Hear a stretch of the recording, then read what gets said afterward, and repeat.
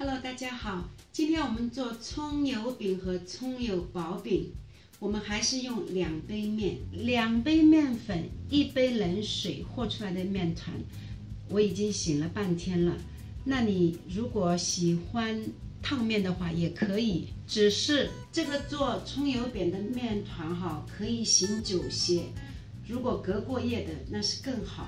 那我们先来切葱。除了葱以外呢，我们要准备油。我用的是猪油，如果你没有猪油，其他油也可以用。然后一个盐撒。那我们准备一点干面。接下来我们先来切葱。那葱如果葱白的地方粗粗的话，我们就把它中间破开，然后一杠二叠起来，这样就省时间。接下来我们撒些干面在砧板上。今天我们用两杯面，我们准准备做六个六个饼。那我做两种方法的，两个方法都可以做成饼和薄饼。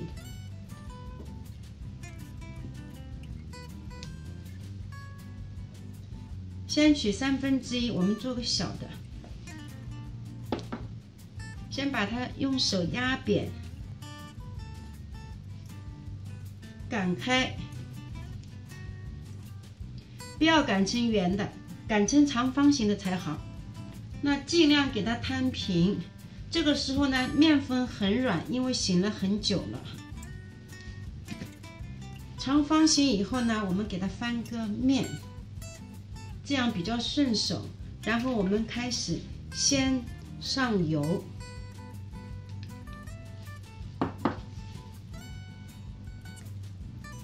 把猪油抹上，剩这样一条边，不要让它碰到油和碰到葱，这个是我们的接口。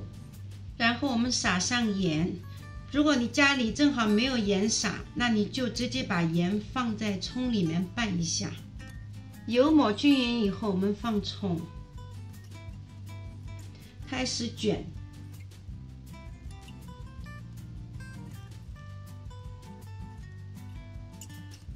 要这样往下拉，压一压，给它的空气跑掉，不要鼓起来。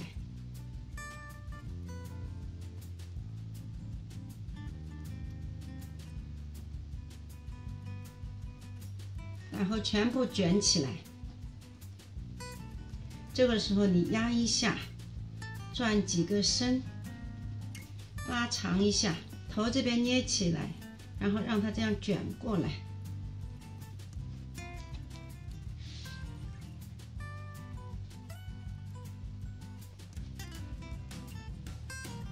这个底塞进去，一个就暂时好了。那接下来一种呢，就是做个大的。你家里如果砧板够大，你愿意这样做的话，你就可以一下做四个、五个、六个都可以。一整块把它打开，做好以后我们再分。然后起线的时候，你用这样抖的、拉的都可以。先把它拉拉大，然后再擀。那有些人哈喜欢用烫面的，都可以。说烫面的比较松软，其实我觉得差差不多，没有太大的区别。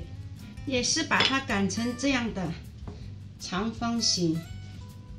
这边如果有什么破洞啊、薄的地方、厚厚薄薄没有关系。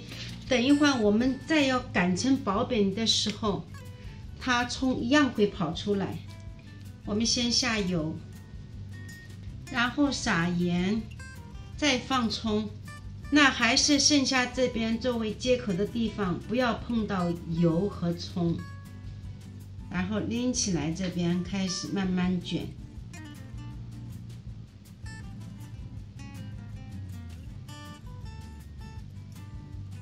一边卷要一边这样朝后面拉，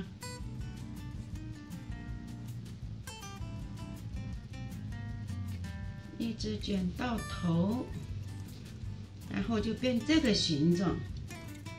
那刚才半团面我们做了三个，这个我们也做三个，就用刀把它切成三等份。你用手拉的也可以。然后拿起来以后是这样子的，我们就把这个面皮这样拉出来，捏紧了，这个头这边也捏紧了。然后下面一个动作是可以把它这样转一下，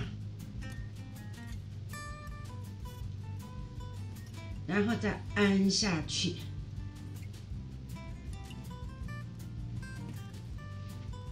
这就是一个葱油饼的面团，那两种做法都可以把它做成葱油饼和葱油薄饼。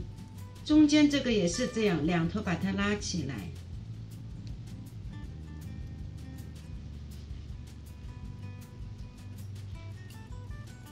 封牢，然后把它转一下，这样层次就多一点。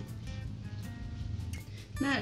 如果你就做葱油饼呢，那这样就可以了。我们煎的时候到锅里再加工。那做葱油薄饼的话，那我们就要用擀面杖把它擀薄。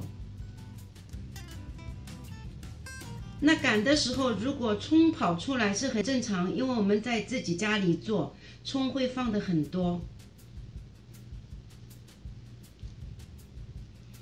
那擀到这样薄薄的，如果。葱跑出来太多湿湿的，你就上一点干面粉。我们先来煎厚厚的那一种，因为薄薄的很好煎哈，只要开小小的火，煎到它两面金黄就好。那厚厚的呢，你煎的时候要有些动作，它才会更好吃。先锅里下一些油，然后把面团放进去。那你在马路上看到人家做饼的时候，都有一个工具，对不对？那我们家里没有，我们就用锅铲，这样压它一下，给它定一下型，然后动下油锅，让它每个地方都吃到油，然后一面金黄以后就翻面，火不要太大，因为它有厚度。太大火，外面熟了，里面还没有熟。那到最后两面都金黄了呢？我们要做这样一个动作：左右手都拿着工具，这边按着饼，然后右手旋转，把它打开。这样打开以后，你就不会担心里面不熟。然后翻个面。是不是这样感觉就是一层一层的出来了，像油酥饼？那如果说你不会做，你觉得两个手不协调，我就教你说，你就用这个一个锅铲，这样旋转，它也会起到作用。那我们今天葱油饼就做好了，希望大家喜欢，我们下次再见，拜拜。